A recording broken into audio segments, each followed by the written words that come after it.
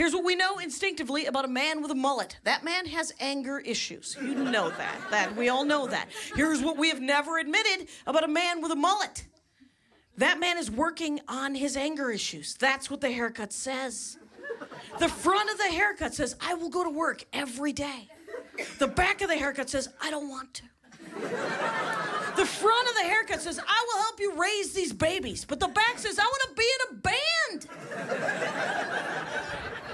So he's working on it.